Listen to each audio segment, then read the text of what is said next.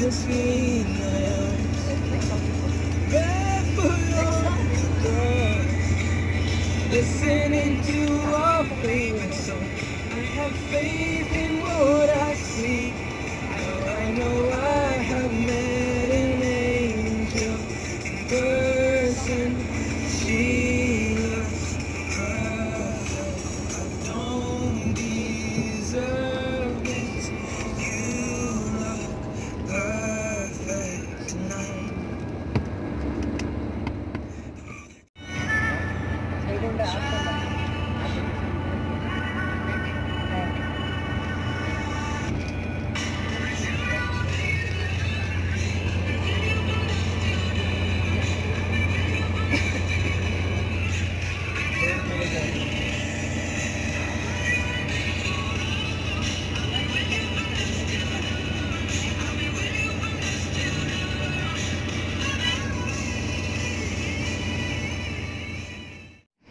Hello everybody and welcome to my channel. Today is the sixth day of my Europe trip and as you all can see I am currently on a German autobahn.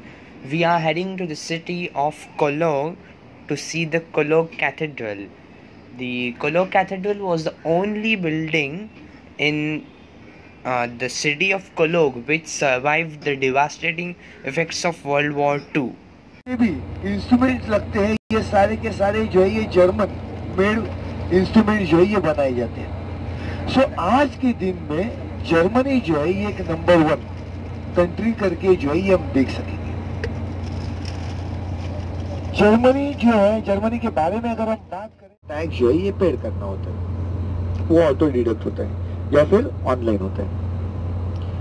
मगर कौन से country की ये गाड़ी है ये हम कैसे आइडेंटिफाई कर सकेंगे? अभी अगर कुछ होता है क्राइम होता है या और कोई चीज़ें होती है तो ये गाड़ी बाबा विदाउट पेपर ये कौन से कंट्री की गाड़ी है? ये कैसे आइडेंटिफाई कर सकेंगे? पार्किंग की तरफ़ आएँगे, जब बस की तरफ़ हम चलेंगे या फिर होटल पहुँचने के बाद, वहाँ पे बहुत सी पार्किंग में व्हीकल्स होगी। अभी हम जर्मनी में तो ये प्राइवेट व्हीकल जो है, ये जर्मनी की हो सकती है या नेबरिंग कंट्री की हो सकती है? बराबर है? तो वो जो है, ये देखना है। ठीक है? और जी है, क्या है, ये मुझे प्लीज़ बताना है। So actually each and every car has the code for that respective country just in India like we have Maharashtra M H Gujarat G J so in such cases it helps to identify which car is of which country as told by our guide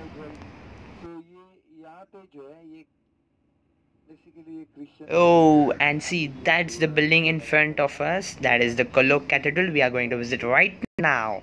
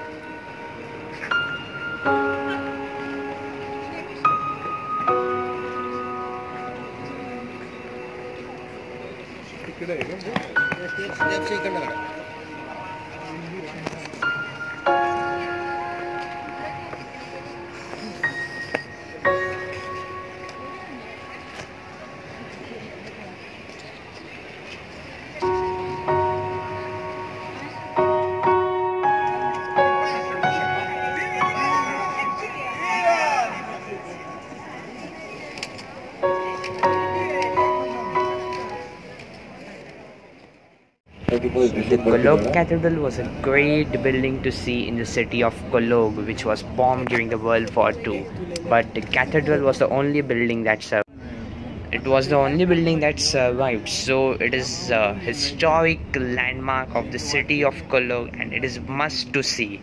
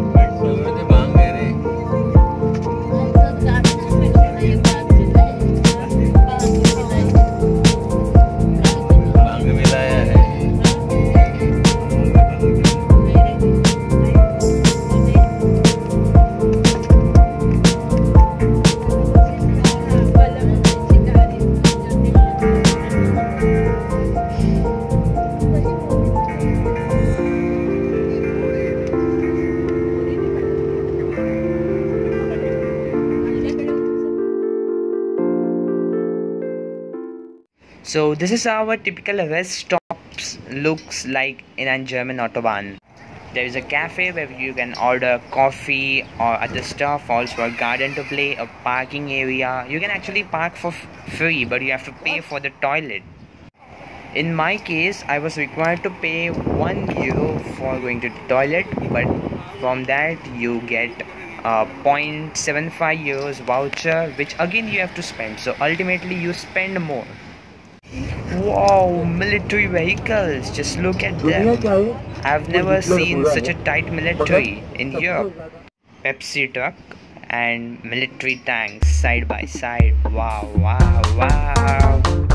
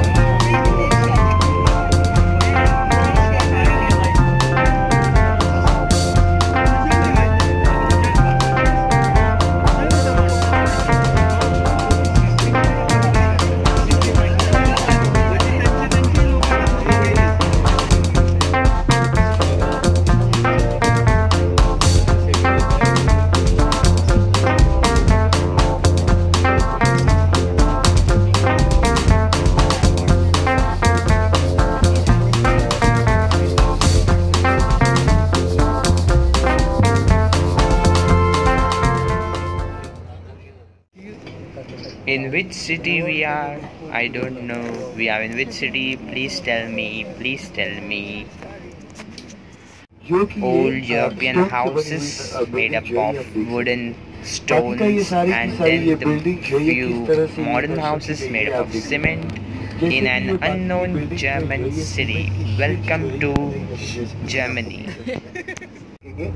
और जिसके अंदर जो है ये कुक्कू की जो है ये साउंड डाली गई है ये हम यहाँ पे देख सकेंगे। सो so, यहाँ से ये डूबा पहुँचने के बाद ये टीटीसी पहुँचने के बाद जो है ये हम लंच करेंगे। लंच होने के बाद वहीं पे ऊपर की तरफ़ जो है ये फैक्ट्री है ये फैक्ट्री विज़िट करेंगे जहाँ पे आप ये ये विज़िट करने के लिए वो देखने के लिए जिसका नाम है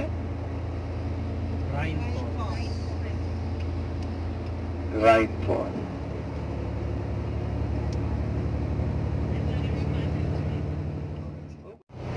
Now, you all must have noticed that there's a considerable change in the overall landscape of the place we are at. It just feels like we are traveling to from Delhi. There are fields along us, and we reach Haridwar, and then the mountain starts. So there are lots of coniferous trees all around us in a beautiful setting, a great landscape so it just feels that we are on the foothills of Himalayas. Can you guess actually where we are?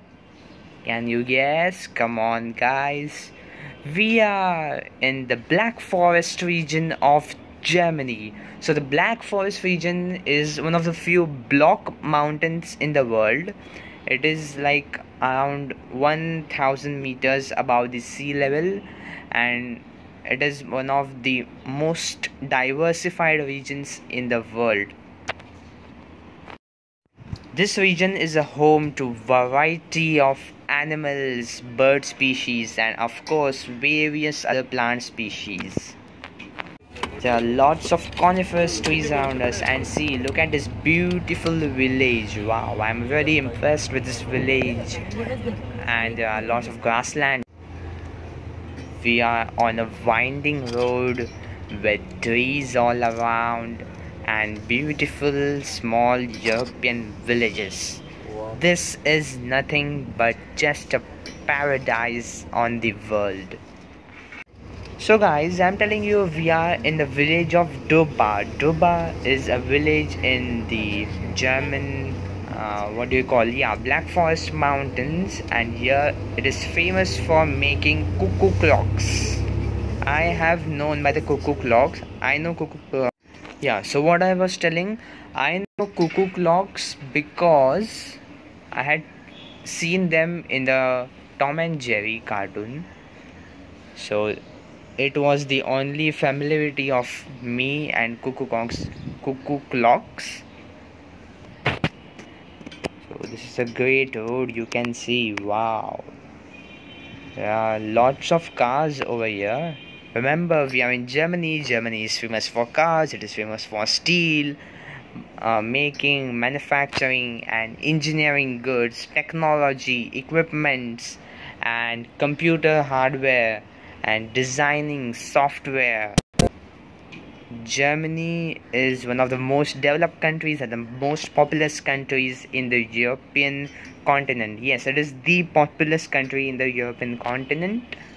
Germany is famous for its rule, its autobahns, and the disciplined people over here. So the capital of Germany is Berlin, but Berlin is in Central Europe. We are currently in the western part, which is like the industrial zone of Europe, which includes uh, industrial zone of Germany, which includes Frankfurt, Munich, Stuttgart, and lot other many cities.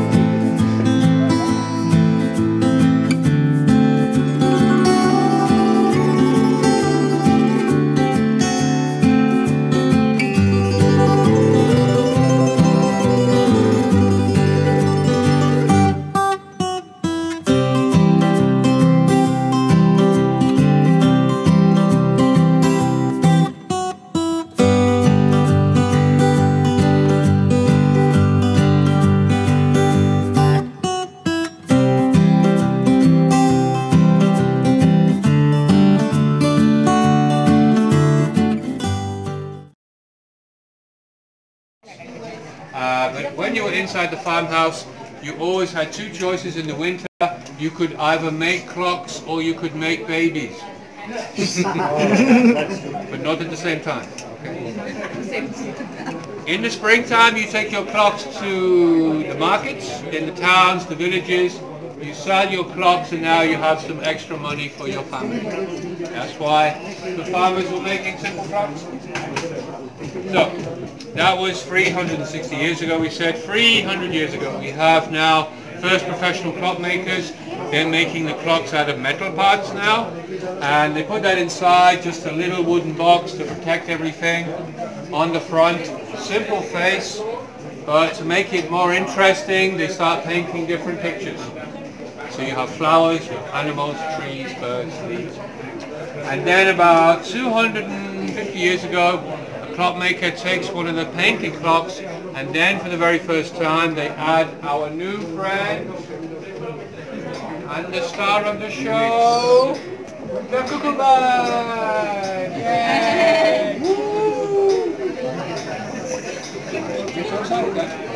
So this is very, very simple for us today, of course, because we have so much technology everywhere, it's crazy.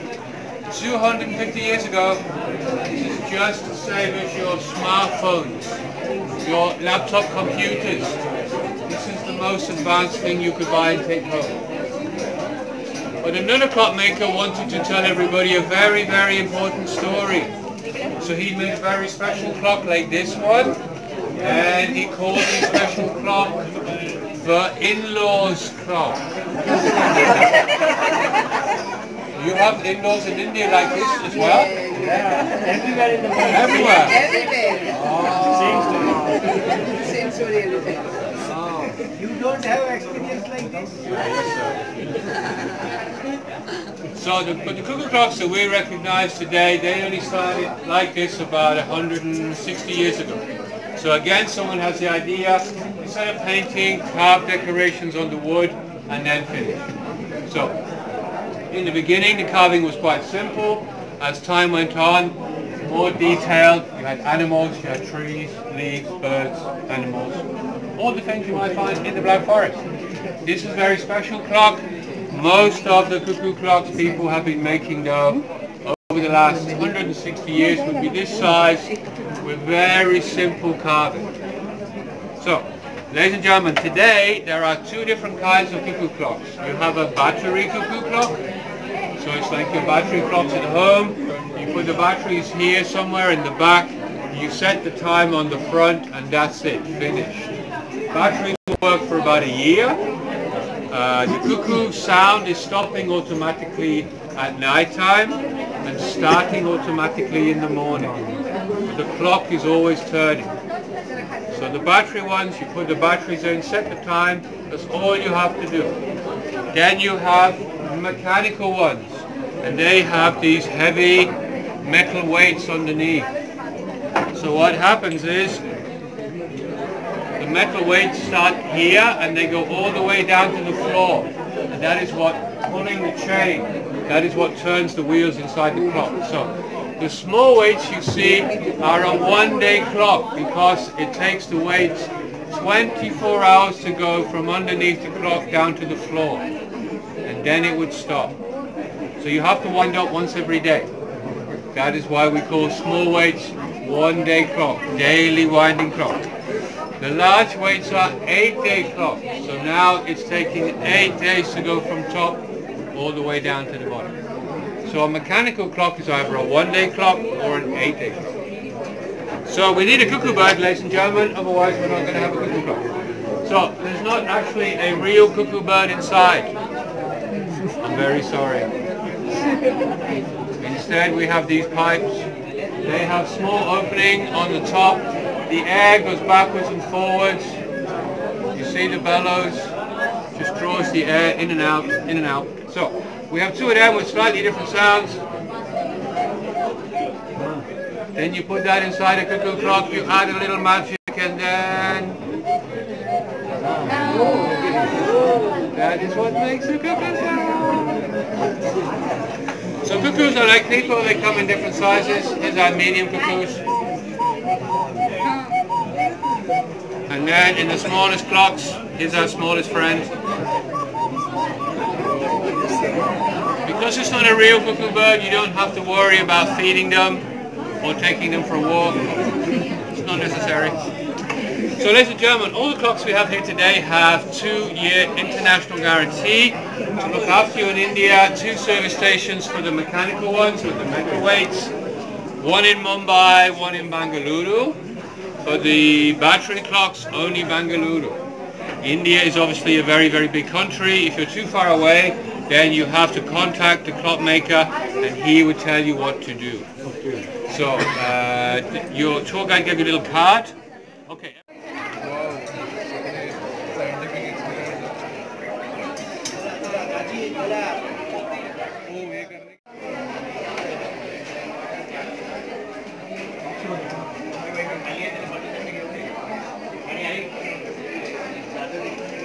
কে রে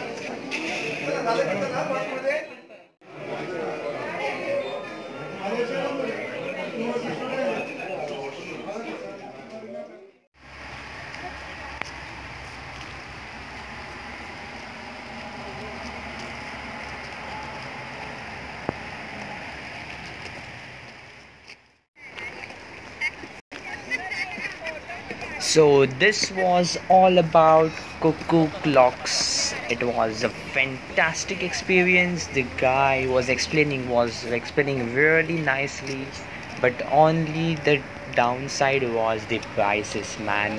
Who would pay almost 6000 rupees for a small piece of clock which is not which is not actually really recommended for Indian people as such uh, it is good for art lovers or one who love clocks or or maybe they are like more into art kind of thing but certainly i have i will not buy these clocks.